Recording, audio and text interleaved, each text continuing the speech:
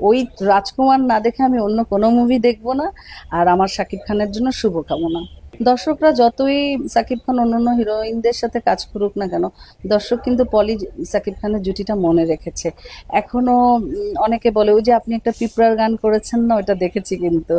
হ্যাঁ তো এটা আমার কাছে অনেক আনন্দের।